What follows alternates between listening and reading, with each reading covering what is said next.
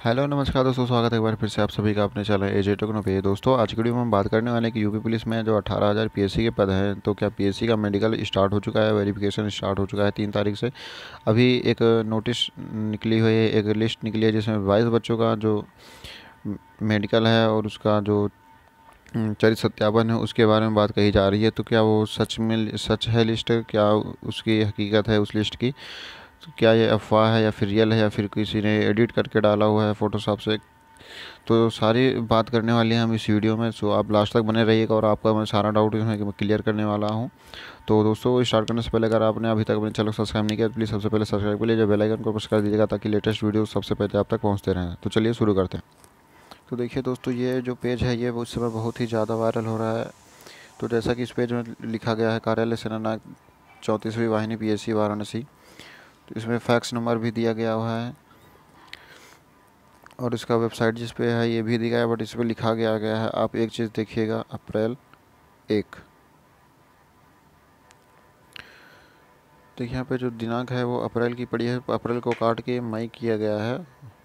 और उसके बाद पढ़ लेते हैं, क्या लिखा है। कृपया अपर अपर पुलिस महानिदेशक स्थापना उत्तर प्रदेश, लखनऊ एवं अध्यक्ष, उत्तर प्रदेश पुलिस भर्ती एवं प्रोन्नति बोर्ड लखनऊ द्वारा आरक्षित पीएससी के पदों पर सीधी भर्ती दो हज़ार अठारह में चयनित अभ्यर्थियों का परिणाम उपलब्ध कराने हेतु चरित सत्यापन, चिकित्सा परिणाम, परीक्षा एवं शैक्षिक योग्यता का सत्यापन कराए जाने के निर्देश दिए गए हैं।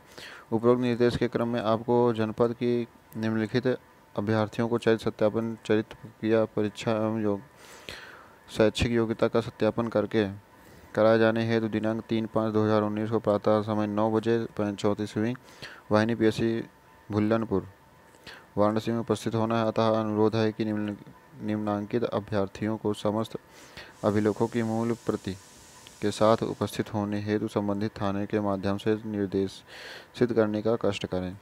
तो देखिए, यहाँ पे जो थाना, ये सब कुछ बता दिया गया है कि इसका थाना कौन सा है? क्या है, उसका नंबर भी दिया गया है। बट अभी मैं आपको बता दूँ उसमें मैंने तीन नंबर अभी इस पर डायल कर चुका हूँ, वो नंबर भी बता देता हूँ किस किस का मैंने इसमें नंबर डायल किया तो सुजीत कुमार यादव सबसे लास्ट में अट्ठारह नंबर, मैंने इसका नंबर किया, number switch off. Brajesh Kumar Yadav, number switch off. उसके बाद मैंने रोहित यादव किया तो नंबर बिज़ी मैंने दो, तीन नंबर ट्राई किए, जिसमें से दो का नंबर तो स्विच ऑफ़ निकला है, और तीसरे का अभी वो बिज़ी है, बट उससे अभी कांटेक्ट मेरा नहीं हो पाया। और बात कर लेते हैं सबसे बड़ी बात तो यहाँ पे पाँच वहाँ से ऐसा नहीं कि सिर्फ़ बीस बच्चों का ही वहाँ से सिलेक्शन हुआ है, बच्चे और भी हैं।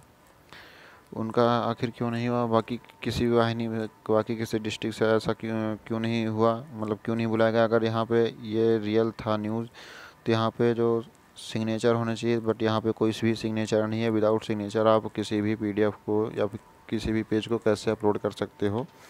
ये चीज़ मुझे समझ में नहीं आ रही है कि बिना सिग्नेचर के यहाँ पे इसको अपलोड कर दिया गया और लोग इसको सच मान रहे हैं तो मैं अभी जब तक, मैं तो इसे बिल्कुल फेक मान रहा हूँ कि ये आप अफवाह है और आप इस पर ध्यान मत दें।